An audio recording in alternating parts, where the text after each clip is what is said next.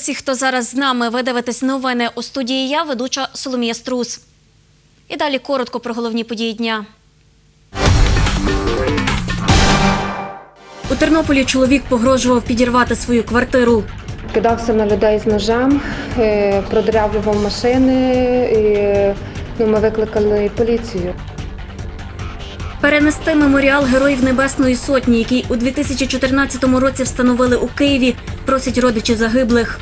Для мене, як для батька, е, важливо, щоб е, більше ця трагедія ніколи в Україні не повторилася.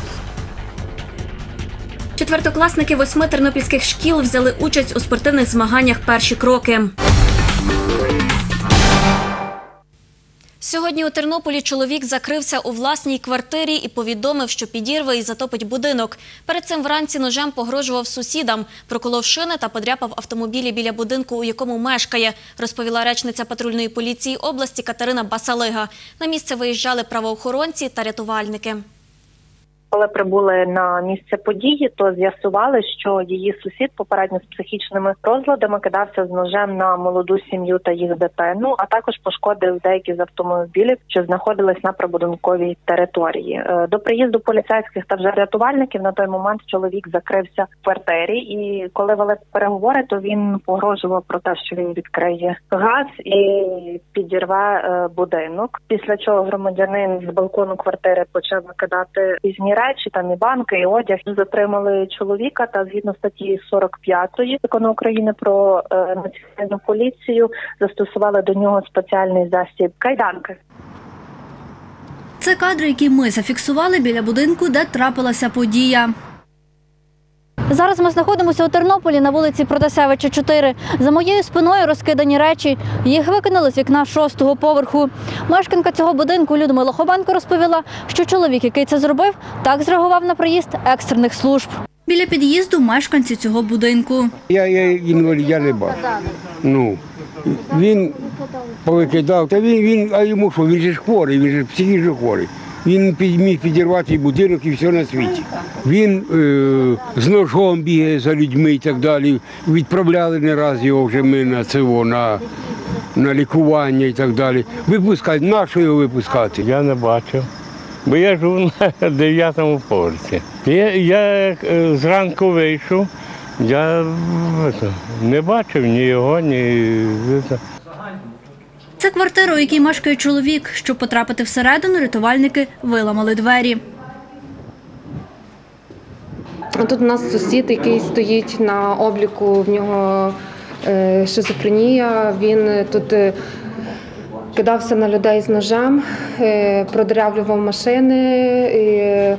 Ну, ми викликали поліцію. Він говорив, що зараз е, засіркає сірник і підірве всю весь будинок. Так, і затопить донизу. Я викликала поліцію в 11.15. І от до години якої другої це все тривало. З родичів в нього є ем, діти від першого шлюбу. Це в нього вже зараз був третій шлюб. А діти знаходяться в Італії. Вранці чоловік ножем пробив дах у машині, в якій сидів чоловік з жінкою та півторарічною дитиною. Ми вийшли з джипа сусідського царапав по капоті, а машина моя стояла рядышком. Ми тихенько сіли, він побачив, що ми сідаємо і давай до нас, до капота. Я задню передачу виїжджати. Пошкодив, він вдарив мені по даху, продзиравив насквозь дах.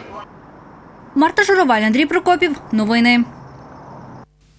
Зазначу, коли чоловік повідомив, що він підірве і затопить будинок, у якому мешкає, комунальники відключили газу і водопостачання та електрику, розповів директор приватного підприємства Східний масив Михайло Дереворіц. Додам близько 15-ї години чоловіка у супроводі поліцейських, лікарі швидкої медичної допомоги завезли до Тернопільської обласної психоневрологічної лікарні. Повідомила лікар приймального відділення цієї лікарні Тетяна Панасюк. Заступник головного лікаря медзакладу Олександр Бондаренко розповів, що чоловік зараз у лікарні. Завтра його огляне комісія, яка надасть висновок про лікування у медичному закладі.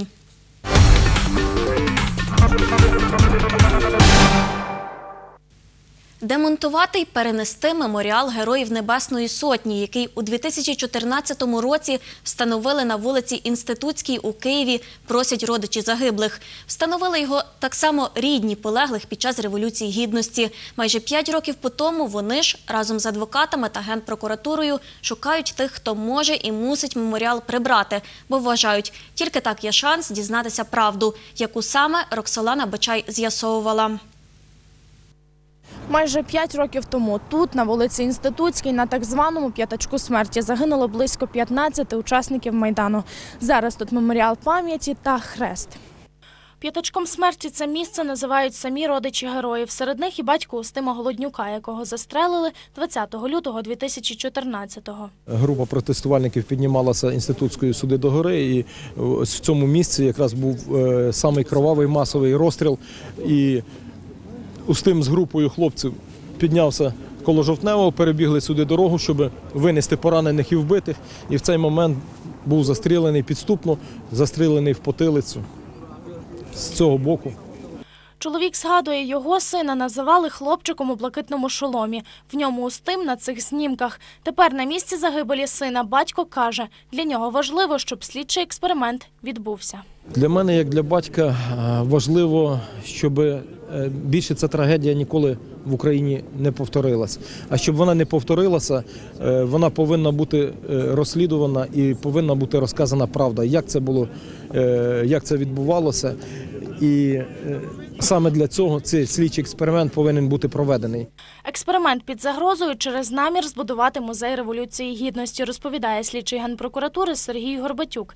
Цієї середи визначать переможця тендеру на будівництво споруди, а невдовзі й розпочнуть роботи. днів за 10 можуть розпочатися роботи, а до теперішнього часу не е, в, перенесений цей меморіал тимчасовий, не перенесений для того, щоб ми могли е, дійсно провести якісні слідчі експерименти, які не можна зараз зробити, на жаль, через те, що він заважає. Сергій Горбатюк розповідає, на слідчий експеримент потрібно щонайменше 16 днів. Коли почнуть будувати, його провести не зможуть, бо зміниться вигляд вулиці. На запитання журналістів, чому не провели раніше, Горбатюк відповів, що в прокуратурі були зайняті іншими експериментами в справі Майдану, а схопилися в липні, коли дізнались про заплановане будівництво музею. Відповідальність несе Київська міськдержадміністрація, які листи направлені слідчим з проханням, з дозволом від родин Небесної Сотні і з проханням перенесіть, тому що ми е, хочемо про- завершити слідчі дії. За словами слідчого, відповіді на жоден лист він не отримав. Директор департаменту благоустрою Київської держадміністрації Дмитро Білоцерковець пояснює, щоб демонтувати меморіал, дозвіл департаменту не потрібен. Каже, музей пам'яті Небесної Сотні, де мав би опісля зберігатись матеріал, може сам найняти службу для демонтажу. лише 16 жовтня надійшов лист від цього музею до міста, де вони навіть не кажуть про те, що місто має щось демонтувати. Вони просять місто надати дозвіл та допомогти. Тобто, в принципі, цей музей теж може найняти підрядника для того, щоб нічого не чекати, і спокійно все це демонтувати. Місто нічого не може заперечувати, навіть не, е, у міста немає повноважень давати дозвіл, тому що це не балансовий об'єкт міста. Точної дати, коли розпочнуть будівництво музею, немає. Розслідування вбивств на Майдані триває понад 4 роки. За цей час про підозру в скоєнні злочинів загалом повідомили 413 осіб. Серед них високопосадовці, правоохоронці, слідчі, прокурори та судді. Реальні вироки отримали двоє людей. Відбуває покарання одна людина. Це громадянин Азербайджану Азір Тагіров. У розшуку 102 фігуранти у справі про вбивство учасників Майдану.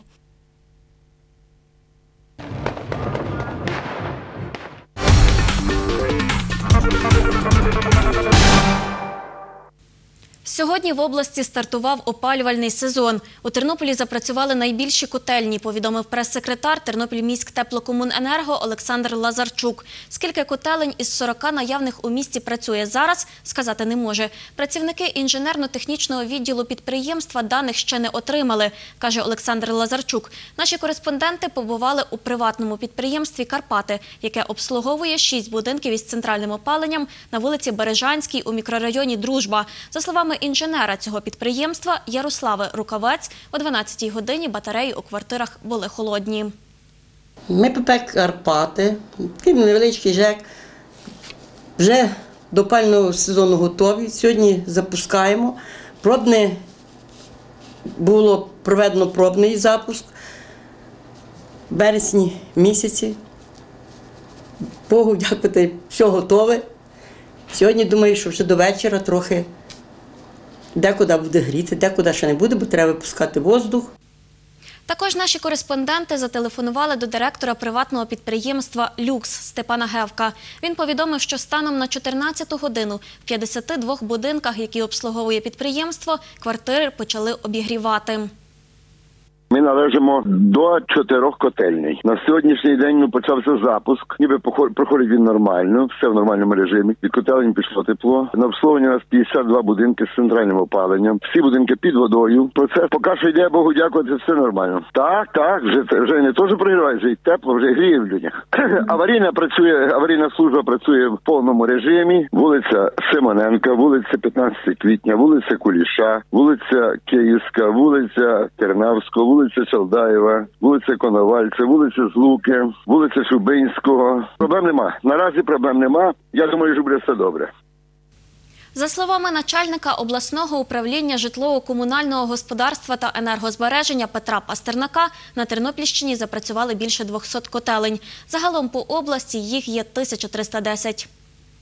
На даний час рішення про початок опалювального сезону приймається органами місцевого самоврядування. Тому на даний час опалювальний сезон стартував в Монастирську, Підгайцях, Шумському районах, а також у містах обласного значення.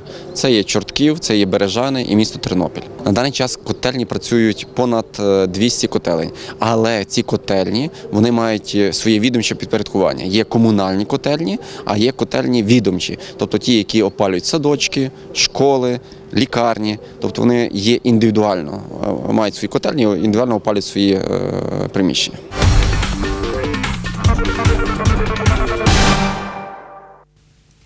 132 четвертокласники восьми тернопільських шкіл взяли участь у спортивних змаганнях «Перші кроки». Вони змагалися у п'яти естафетах – вправах зі скакалкою, бігу змійкою, попаданням у баскетбольну корзину, боулінгу та садінням і збором картоплі. На змаганнях побувала Марта Журавель. Це спортзал 26-ї тернопільської школи. Зараз тут проходять змагання перші кроки. Вже 12-й рік поспіль Тернопільський обласний центр сумісно з управлінням освіти і науки Тернопільської міської ради проводить змагання серед учнів четвертих класів. Перші кроки. Сьогодні це перший етап на східному, потім на дружбі, в центрі і, і цей, чотири, чотири масива. І переможці, тобто перше, друге місце, приймуть участь у фіналі. Ми брали е, естафети із шкільної програми. Так що вони цілеспрямовано просто готуються і шкільна програма, і от і естафети. Єдине, що ми додали, це комплекс ранкової зарядки. П'ять естафет це вправи скакалки, біг з- передавання палички, е, баскетбол, теж попадання в корзину, боулінг, дуже цікава наша естафета. Ну і отакі от прості, зовсім прості вправи, але вони формують координацію рух, швидкість, спритність. Це естафета зі скакалкою. Учасники двох команд біжать до скакалки, стрибають 10 разів і повертаються на вихідну позицію. Чия команда швидше завершить вправу та й перемагає. Так подобається. Зараз йду на баскетбол. Я вже робив вправи. Тут були конкурси біг змійкою, навколо фішок скакати. Цікаво, не важко. Марта Журавель, Андрій Прокопів. Новини.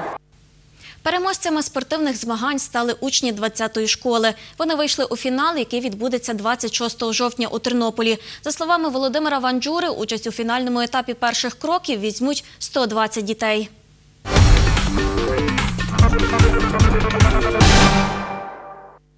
Сьогодні розпочалось голосування за проекти, подані для реалізації громадського бюджету Тернополя. Триватиме воно до 5 листопада. Цьогоріч до голосування допустили 56 проєктів, повідомила керівник прес-служби міської ради Мар'яна Зварич. Проголосувати можуть громадяни України віком від 16 років, які зареєстровані та проживають у Тернополі. Кожен мешканець може віддати один голос за малий проект та один голос за великий проект. Проекти, які наберуть найбільшу кількість голосів, будуть реалізовані у 2019 році. Перелік проєктів розміщений на офіційному сайті Тернопільської міської ради. І на сьогодні це всі новини. Більше новин дивіться завтра о 7.30. На все добре.